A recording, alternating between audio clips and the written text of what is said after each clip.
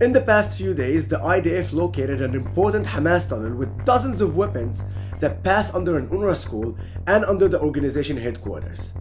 What was the UNRWA Secretary General's reaction to this? He replied, We didn't know. It's interesting that UNRWA didn't know anything.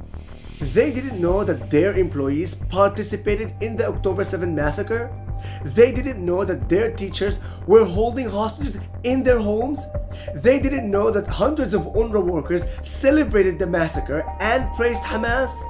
They didn't know that at least 10% of their employees are members of the terrorist organization Hamas and Palestinian Islamic Jihad. They also didn't know that they were being educated about terrorism and the destruction of the state of Israel in their schools for all these years. The whole world needs to understand that UNRWA is accomplices in Hamas's terrorism, and yes, they knew, they knew everything.